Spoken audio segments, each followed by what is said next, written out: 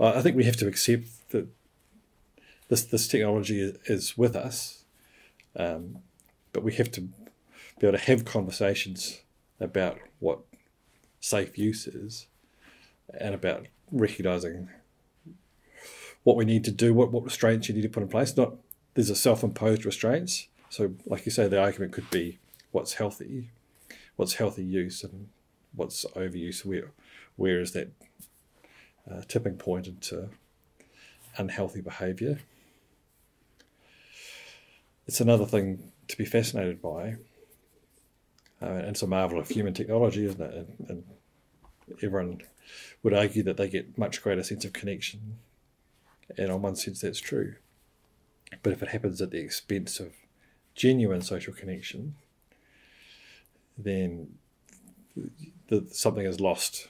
Social cohesion is lost.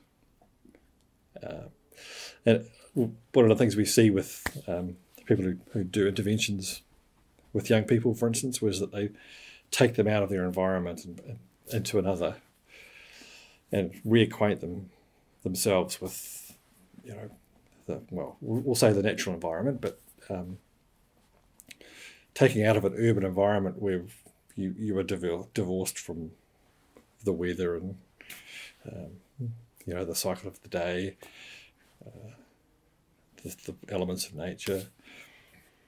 Um, there's a detachment from reality about that, and I think we will benefit from reacquainting ourselves with those things.